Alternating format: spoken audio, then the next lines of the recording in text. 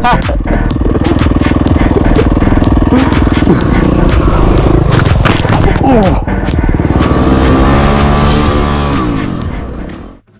going on guys? It is Mitch MotoMaths here.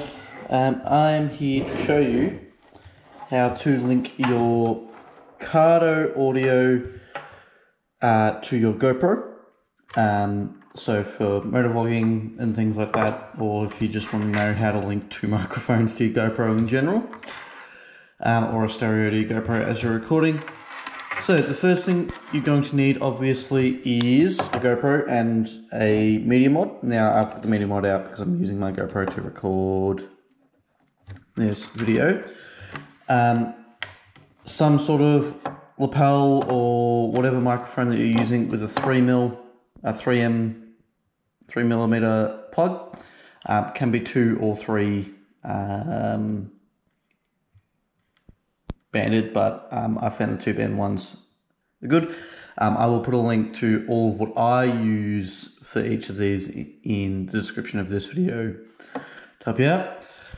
The next thing you're going to need is what we call a left-right splitter. Now you don't necessarily need one of these, you can actually use two of what's next, but in the editing stage this becomes really helpful if for whatever reason you don't want one of the microphone or one of the sources audio, this will allow you to split it while if you use the other method, um, can't do this.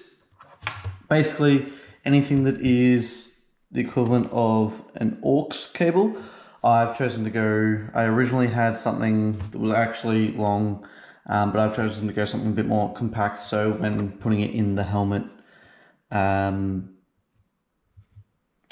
you don't have to fiddle around with that one. Then we have a Y splitter. So this is basically, you can get this from, um, most of these you can get from any audio store. Um, I got most of these from Amazon, um, but you can get them from Jaycar Electronics or a few different um, sort of speaker stores and stuff like that in Australia. Then obviously you need your Cardo. Um, I've only got the mount point at the moment. My um, device is actually charging and the Cardo speakers that go along with it. So the first thing you need to do is unplug your Cardo speakers directly from your uh, Cardo mount um, because what we're going to be doing is we're going to be putting sort of a line in between them. Then what you're going to do is you want to take the Y splitter, not the left-right splitter, and connect that into the Cardo device. Um, then one of the things from the Y splitter can just be connected in like so. And then the next step is to take the aux line, so the little um, double-ended device and plug that into here. Right. The next step is to plug into either, doesn't matter which one it is, um, these are just left and right. The only difference it'll make is which speaker you have to choose for which audio you want um, in the editing program that you use. I'll show you how I do it on Premiere Pro in this video. Um, and then lock it in. Then your microphone plug to whatever microphone you're using goes in the other one. So what this does is it will create two audio channels in your GoPro's audio when you once you plugged it into your um, media mod. It'll create two audio channels for you, a left and a right one. I can never remember which color is which. Um, that when you're using, so when you're listening to, uh, it's just on generic speakers. You'll know you'll notice really obviously that one's got all of your microphone audio and then one's got all of your Cardo audio. But once you go into your editing software, you can manipulate it so you can hear both through both speakers, or you can only hear your microphone audio, or you can only hear your Cardo audio if that's what you want. Um, for example, you just, um, yeah. So some of the reasons you might want your Cardo audio is, well, one, if you're riding with a group of people, it can actually save them having to get a microphone. Um, as long as they've got, you know, you, in terms of for their Go for a GoPro, um, or you can just be you want people to be able to hear the music you're listening to or the directions you're listening to, anything that's coming out of your Cardo. Then the last step is to plug. Obviously, you would have your GoPro connected into this, but I'm using it as a camera. Um, is to plug it into the 3mm port at the bottom and you are ready to go out, record, um, and do that. So now we're going to switch to the uh, the uh, editing suite on Premiere Pro. Alright, um, so we have now moved to the editing portion of this. So what you'll find is if you drag in your audio, you'll see I have two distinct channels here. All right, so one channel represents the microphone audio, the other channel represents your Cardo or whatever other device you plugged in using the second portion. The problem is, is at the moment there is no way to distinguish between the two. Right?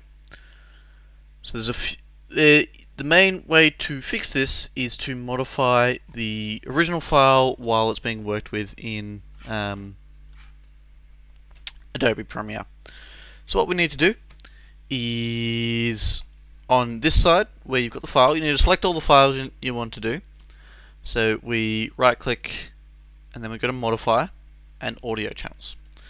So the first thing you'll notice is it has a column and a row for each clip and there's going to be a way we can uh, sort that out in a second a left and a right so what that says is the left speaker is playing so the left speaker is this the speakers are along on your rows and your source source microphones are your columns so the left speaker is playing what was inputted in the left microphone Alright, so what we're going to do is the first thing is we're going to create two audio clips.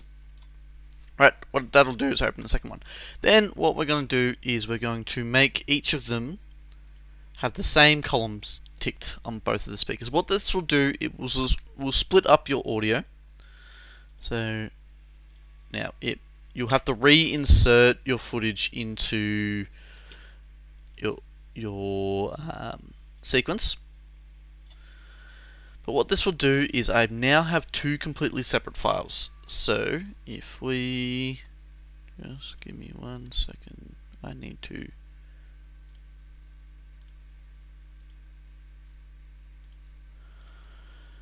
turn it so it's um we'll hear it. Tell when Nathan's back. And we can Nathan's hear on both so we could hear both my microphone audio and if you have really good hearing the um music audio. Um, So, and so to work out which which f- file is which, we're just going to mute one and listen to the other. So there is our um, uh, our Cardo audio, and if I mute that one, uh, he's taking a nap. we found our microphone audio. So now what we can do is say I only want the microphone audio. It was clipped to in my um, file, which means it is the second audio file attached to that. So if we go back to our modify audio channels, so we look at clip 2, okay, so my microphone was the right microphone. So I only want one, so there's two ways we can do it. I'll show you the first way, which I need to reinsert it, is we can unlink it and then select that, delete it, and then relink it. So there's one way we can do it, and that will just give us the audio file we want. And You can do it whichever whichever one that you want to, or we can open up and modify our audio channels. Now we worked out that the microphone I wanted was my right microphone. So I can turn it back to one audio clip. And then tick the right on both of them, and that will give me just the audio from my um, microphone. But say we want both of them, but we want to fiddle with the volumes on both of them. So we're going to do that. So we're going to add this and add them back. I've just switched which one's which, um, just because that's how I like to operate. I like my um, vlogging to always be the first audio track. Um, but I always forget which one it is. So, if, let's just see what we can do. This is stuff that I'm always a bit, no, that's not what we want. So, we're going to need to unlink them anyway. And what this will let us do is adjust the volumes. So we can go into our audio gain, and we could adjust it so if we just want to lower the entire volume, right? Right click audio gain and then we want to lower our Cardo by 10 decibels. This is, you know, so we want it there, but we don't want it obvious. So now, if we listen to a section,